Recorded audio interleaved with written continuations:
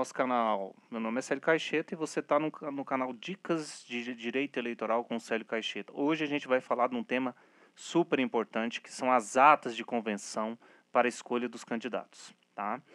É, muito, muita gente estava me pedindo modelo, etc e tal, e a gente sempre fica na dúvida porque a Justiça Eleitoral não fornece modelos, né, para partido, para advogado, para ninguém. Só que por ser um tema que, que gera muito, muito problema na, na, no período eleitoral, porque geralmente não é, não é raro que as atas venham um pouco bagunçadas, com erros. É, eu resolvi bolar é, esse modelo aqui, que, que foi realizado com a ajuda do servidor Jean Ricardo e com o Alan lá do Paraná. Me ajudaram muito aqui para a gente fechar esse modelinho aqui.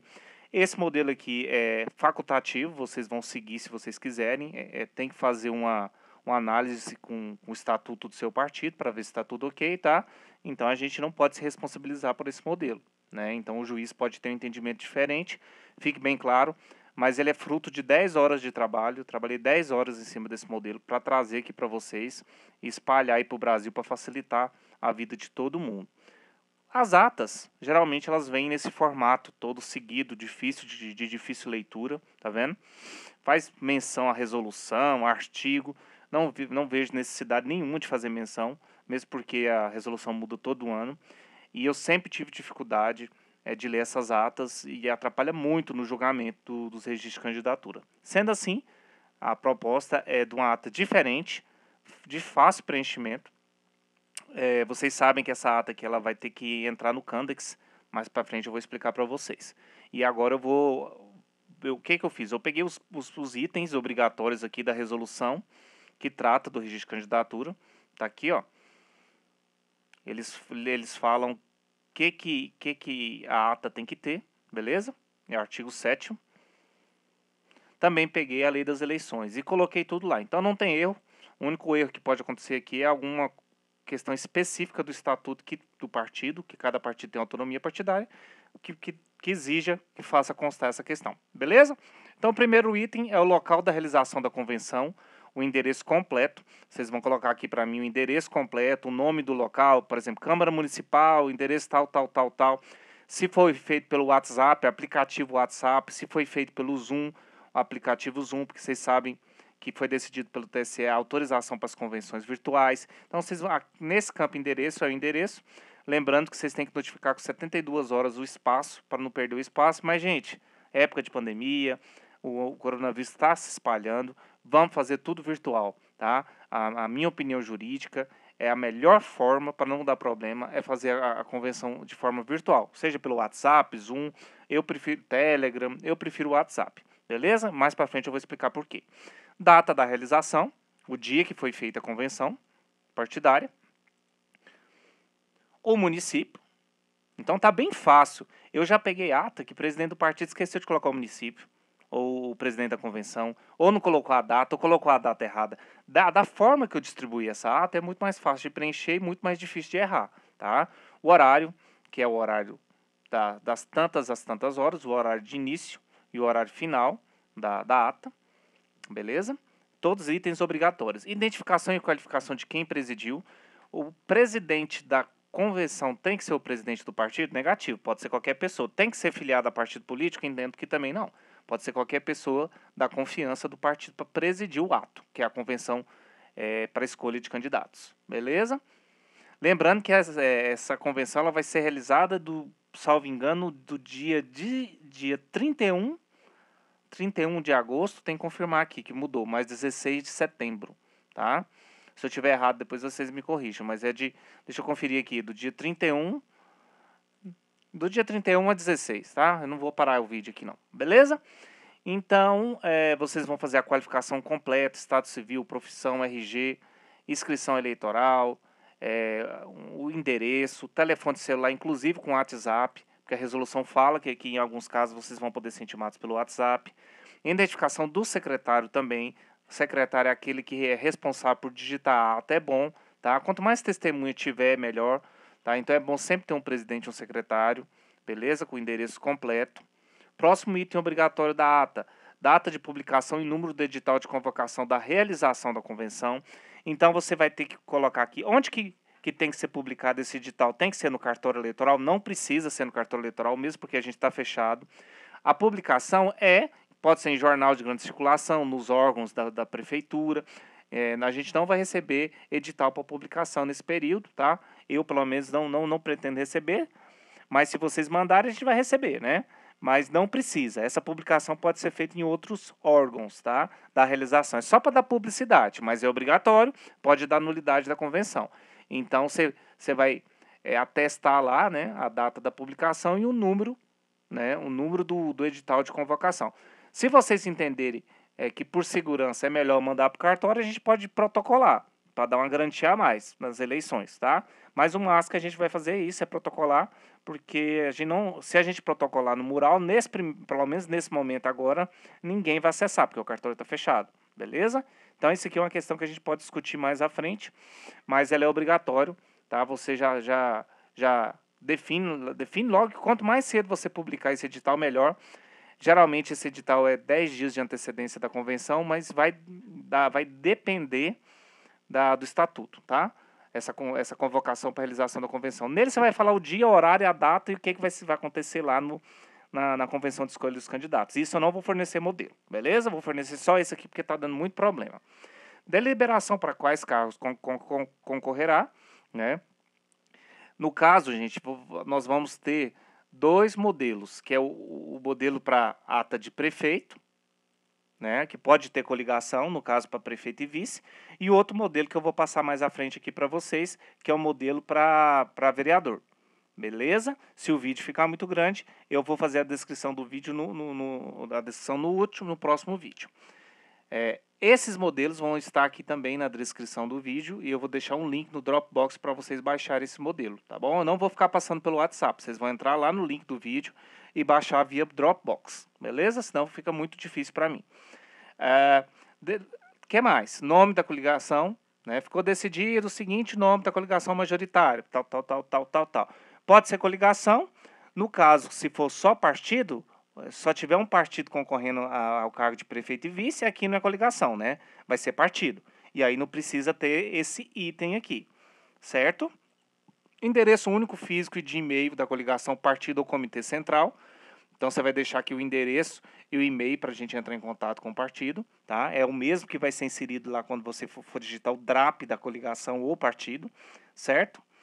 E, e também a gente incluiu aqui, que é bacana, a ciência e a declaração da obrigação não precisava incluir porque é texto de resolução, é, é texto de lei também e é obrigatório. Mas de qualquer forma a gente está falando que você se responsabiliza por manter atualizado todos esses dados que estão constantes na ata, mesmo porque pode se for mentira uma declaração falsa. Beleza?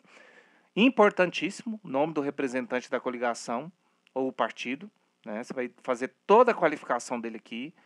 Nome do e outra coisa que a gente que, que a gente tem que discutir aqui até discuti isso com o Alan lá do Paraná. É, antigamente, o pessoal fazia uma ata geral. Né? Todos os partidos se reuniam e faziam uma ata geral para as eleições. Com o sistema Candex, como que vai funcionar? Cada partido vai entrar lá no CGIP, no Sistema de Gestão de Informações Partidárias, e gerar uma chave. Com essa chave, ele vai ter acesso ao Candex, tá? E vai ter que ter um partido responsável por alimentar o Candex com os candidatos, mas os outros partidos também vão ter que ter acesso ao Candex para enviar essas atas, porque após a convenção, eles têm até o dia subsequente para mandar as atas para a Justiça Eleitoral. Como vai ser enviada as atas? Vai ser digitada no Candex e enviada, né? Essa ata no Candex vai ser considerado o livro de partidário. Lembra que a gente falou que não vai precisar mais do livro partidário, rúbrica em livro? Esquece isso, vamos usar o Candex. Mesmo porque é obrigatório digitar no Candex, para que, que você vai usar livro? Tem que pregar lá no livro, entendeu? Então a gente não vai rubricar livro mais, tá? A ata vai ser digitada no Candex e enviada no dia seguinte. Um partido vai enviar a ata e, e, e digitar todos os candidatos, e outro partido só vai enviar a ata. Vai precisar da senha só para enviar essa ata. Por quê?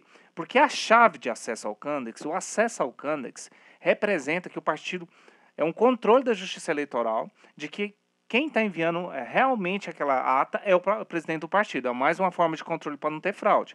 Porque para ter essa chave, só o presidente do partido consegue tirar lá no, no SGIP. Beleza? Então, um partido vai lançar os candidatos e outro e os outros partidos também vão ter que só enviar a ata via Candex. E aqui explica isso, nesse item. Delegados habilitados para eleição, para fiscalizar, expedir credenciais. É importante cadastrar os delegados aqui para não ter problema na época das credenciais dos fiscais de partido, tá? E para outros atos importantes no período eleitoral que estão descritos em lei. Relação, e agora a relação, o item 14, a relação dos candidatos é, escolhidos na convenção. No caso, eu expliquei para vocês que a gente não vai fazer uma ata junta, é uma ata só para escolha de prefeito e vice e uma ata só para escolha de, de, de, vereador. Não mistura que vai dar confusão. Eu peço isso a vocês. Por isso que a gente está tá fazendo a sugestão desse modelo, para também diminuir nosso trabalho e a confusão na época da eleição. Beleza?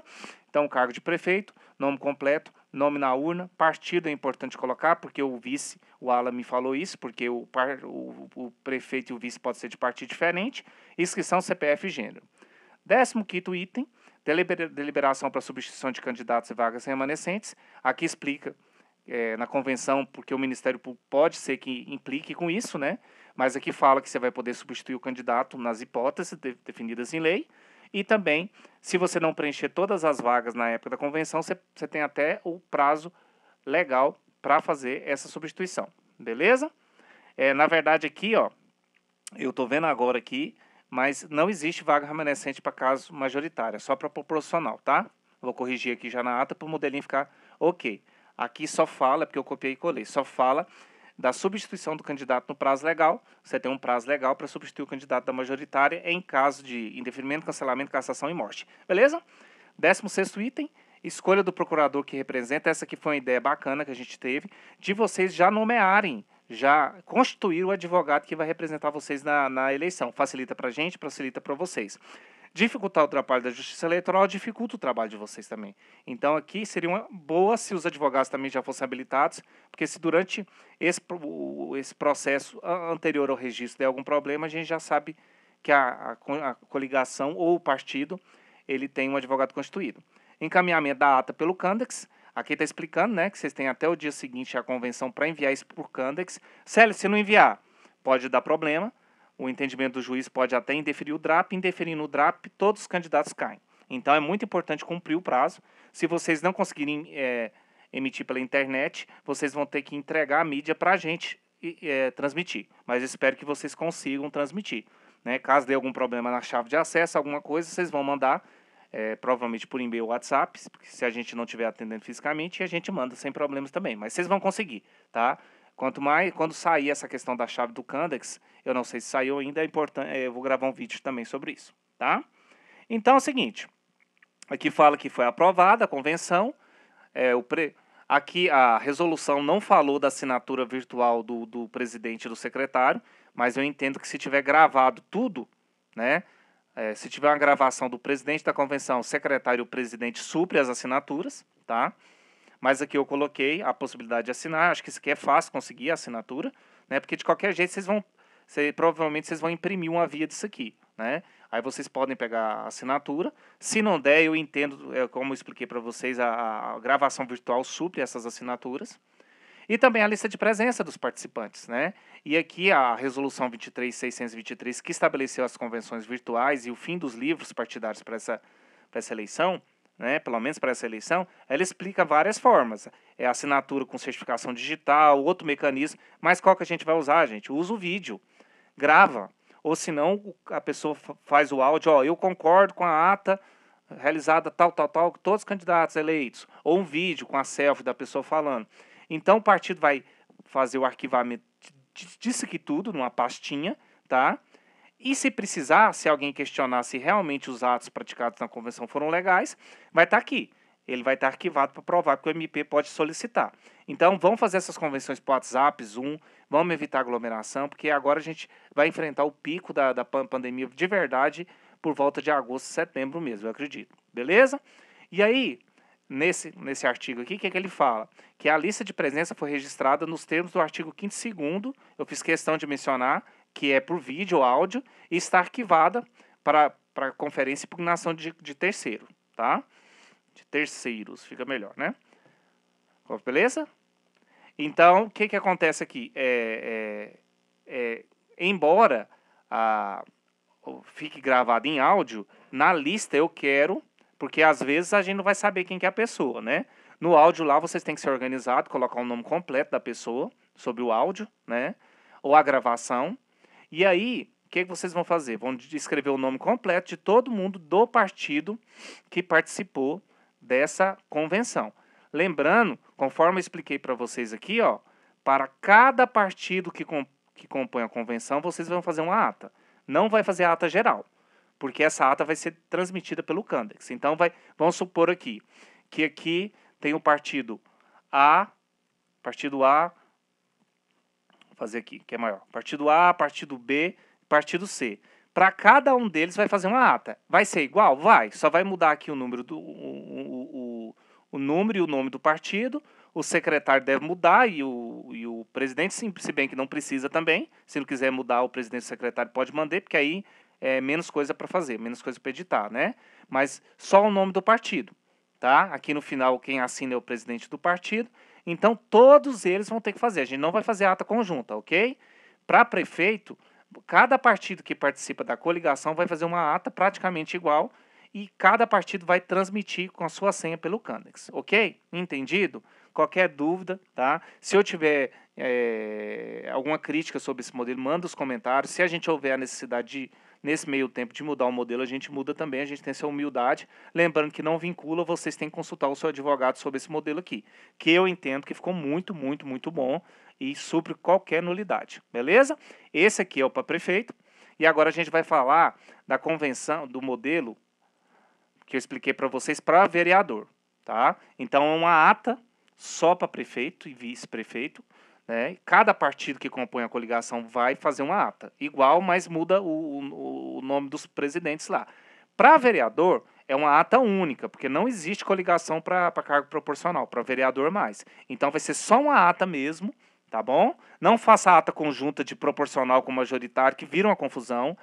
Os mesmos itens, praticamente aqui, eu coloquei os mesmos itens da, da, da ata do, do, do prefeito. A diferença está aqui, ó.